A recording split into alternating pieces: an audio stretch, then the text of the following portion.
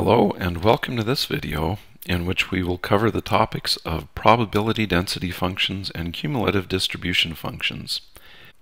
These two types of functions provide a means of computing probabilities associated with random variables. We will begin with the cumulative distribution function.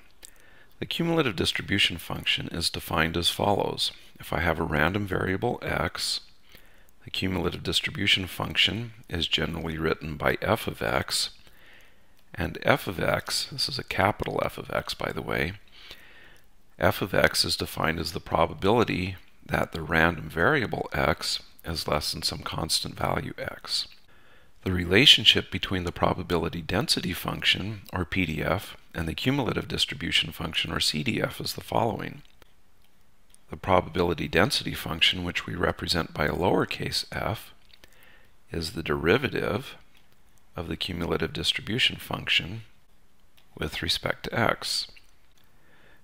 Using the fundamental theorem of calculus, we can say that the cumulative distribution function, f of x, is the integral from minus infinity to x f of z dz, where this is the probability density function and z is a dummy variable of integration shows plots of the cumulative distribution function and the probability density function for what's called an exponential random variable. This function here is the density function and this function here is the cumulative distribution function. So if you look at these, hopefully you can see that the density function is the slope of the cumulative distribution function. So if I look at the cumulative distribution function down here, it has a fairly steep slope, and that's represented by a larger value up here. If I go out here, the cumulative distribution function has a fairly small slope, and that's represented by a small value of the probability density function.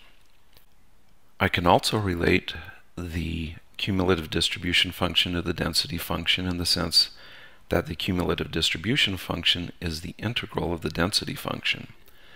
So for example, the cumulative distribution function at this point is the integral under the density function from minus infinity, and since the density function is defined to be 0 for values of x less than 0, it's basically this area right here.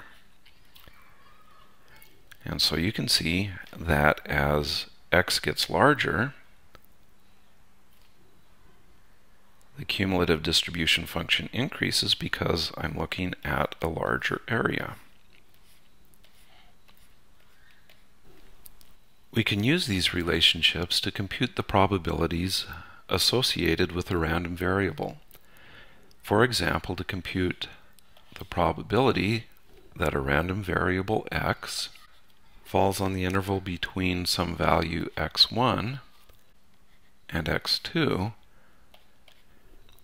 it turns out this is the integral from x1 to x2 of the density function, where again z is a dummy variable of integration. And I can also show that this is equivalent to f of x2 minus f of x1. So in the case where we have an exponential random variable, suppose we want to find the probability that the random variable lies between 1 and 2. In terms of the probability density function, this would be the integral from 1 to 2 of the density function. Conceptually, this is the area under the density function between 1 and 2. And so if you want to, you can actually work that integral. However, as we also saw, I can take the cumulative distribution function evaluated at 2, which would give me this point here, evaluated at 1, and the difference between this value and this value would give me this probability, which also turns out to be the area under the density function. So in this particular example, this probability will be f of 2, the cumulative distribution function at 2 minus f of 1.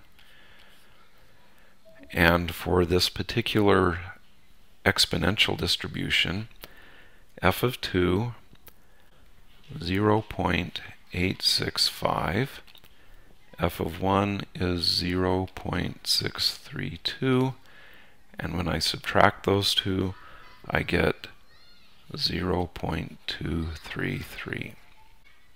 So this pretty much concludes this video. Again, the important concepts, we've introduced the probability density function and the cumulative distribution function. We've explained their relationship to each other, and we've shown how you can use the cumulative distribution function to find the probability that your random variable lies in an interval. So that concludes this video. Thanks for watching.